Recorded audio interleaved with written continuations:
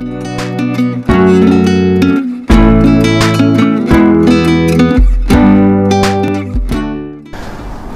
Bey merhabalar. Merhaba, hoş geldiniz. Hoş bulduk. Nasılsınız? İyisiniz? Teşekkür ederim, iyi misiniz? Teşekkürler, sağ olun. Bizler deyiz. Ee, öncelikle bizleri burada misafir ettiğiniz için çok teşekkür ediyorum. Çok sağ olun ekibimiz adına. Misafirimiz olduğunuz için biz teşekkür ederiz. Çok olun. sağ olun. Sizleri tanıyabilir miyiz Ergin Bey? Ben operatör doktor Ergin Işık. Ee, plastik cerrahi uzmanıyım. Evet. Ee, yaklaşık 8 aydır Live Hospital bünyesinde çalışmaktayım. Evet. Ee, biz burada e, 2017 Kasım ayında saç ekimi işlemine başladık ve saç ekimiyle ilgili birimimizi kurduk. burada. Evet. Ee, ve e, iyi bir şekilde de bu hizmeti verdiğimize inanıyorum. Evet, Live Hospital Hastanesi'ndeyiz. Doğrudur. Evet, biraz tanıyalım? Neler yapıyoruz burada peki? Ee, Live Hospital Hastanesi şu anda Ankara'da e, sayılı hastanelerden biri, belki de en iyi hastanelerden biridir. Evet.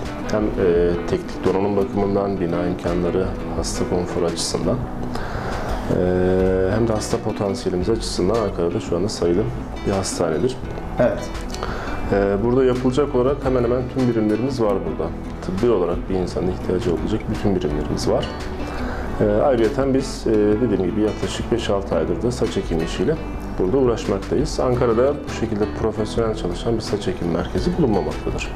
Yani ilk olarak da biz kendi hastanemizde bunu başlattık. Hastanın tamamen gelişi, işlemlerin yapılması, takibi, her şey hastanemiz bünyesinde özel olarak kurduğumuz saç ekimi ünitesinde yapılmaktadır. Evet ama hizmet sektöründesiniz. Yani zor bir iş yapıyorsunuz. İnsanı memnun etmek en zor işlerden biridir. Çünkü e, gelen hastaların beklentileri çok. E, bunları iyi bir şekilde anlatmak gerekiyor. Çünkü saç ekimi e, basit bir olay değil. Hem yapan için zor, yaptıran için de zor ve ondan sonrası zaten bekleme dönemi ki bu bizim için en zor dönemdir. E, psikolojiyi bile etkiliyor aslında. Ergin Bey siz ki. nelerle karşılaşıyorsunuzdur bu konuda? Yani şimdi saç erkek için çok önemli bir şey. Aksesuar, yani bizim tek aksesuarımız. Aksesuar, sakalımız ve saçımız nedir? Evet. Ee, bir ortama girdiğin zaman bile önce ilk yaptığın şu hareketi bir yapayım. Yani bu bile size kendinize güven verir ama saçı olmayan insana hele bir de özgüven problemi varsa bu onlar için daha büyük bir psikolojik sıkıntı yaratıyor. Ee, ve bunu çözmek için de saçlarını ektirmek istiyorlar. Hastalar Evet, e, bu noktada iyi seçmemiz gerekiyor bunu yaptırırken. Yani bizler hangi kriterleri göz önünde bulunduralım? Çünkü biz bilinçsiziz bu konuda. Kriterler şu, bir kere bu işin mutlaka profesyonel kişilerce yapılması gerekiyor. Bir, bu işi merdiven altı diye tabir ettiğimiz yerlerde çok düşük fiyatlara e, yaptıran, e, yapan insanlar var. E, enfeksiyon, kanama, Allah korusun ölümlerle sonuçlanabilecek durumlara bile neden olabilir. Yani basit bir işlem değil saç ekimi hani. e, Dışarıdan çok basit gözüküyor Saçı ama değil. al, oradan oraya çıkar ek gibi bir işlem değil. Yaptığınız lokal anestezi ki bazı hastaların mesela ağrı e, eşikleri çok düşük oluyor ki biz bunlara e, hastanemizde sedasyonla yani hastalara o lokal anestezi süresince uyutarak lokal anestezilerini yapıp daha sonra ekim işlemine geçebiliyoruz. İşlem uzun bir işlem. E, tabii ekilecek bölge alanına göre değişiyor ama yaklaşık 10 saat belki 11 saat sürebilecek bazı saç ekimlerimiz oluyor çok uzun ekimlerde.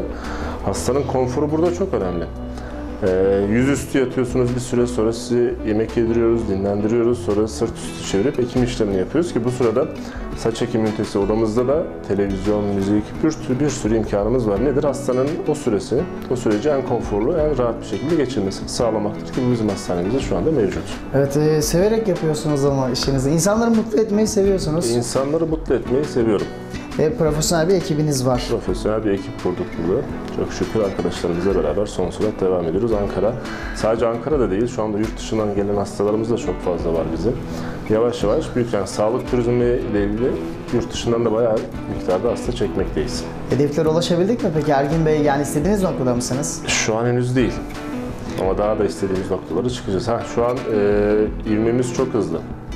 Hani çok yavaş bir ilerlememiz yok. Gayet ilk başladığımız andan itibaren sürekli bir büyüme içerisindeyiz. Her ay hasta sayımız artmakta. Giden hastalar yani il dışı, ülke dışı bile olsa bize 5-10 tane arkadaşını, eşini, dostunu arayıp gönderiyorlar. Bizim için zaten en büyük başarı olur. Yani bir hasta size hasta gönderiyorsa yaptığınız işlem gerçekten Doğru yaptığınızı başarılıdır. Tabii ki. gösteriyor aslında bu. Ve Hizmet hizmet kalitemiz de burada çok önemli. Hani merdiven altı diye tabir edilen yer değil. Burası profesyonel, her türlü ekipmanın olduğu, anestezi uzmanının, doktorun, sağlık memurunun, hemşirenin olduğu ve hastaların güvenle gayet konforlu ve rahat bir şekilde saçlarını ektirebileceği bir ünite kurduk biz burada. Evet. Biz bu hedeflerinizin yanında başarılar sizlere ederim, Ergin Bey. Buradan son sözlerinizi alın mı? Ee, buraya gelen misafirlerinize, yani Ankara'ya, başkentimize, aslında tüm Türkiye'ye neler aktarmak istersiniz? Buyurun son sözlerinizi alın. e, insanlara aktarabileceğim şey eğer profesyonel bir hizmet almak istiyorsanız ve kaliteli bir hekim yaptırmak istiyorsanız Live Hospital Ankara saç ekim ünitesi olarak sizleri bekliyoruz. Biz de herkesi buraya davet edelim o zaman. Ben vermiş olduğunuz değerli bilgilerden dolayı çok teşekkür Ben ediyorum teşekkür Ergin ederim, Bey. Başarılarınızın devamını diliyorum. Sağ olun. Çok sağ olun.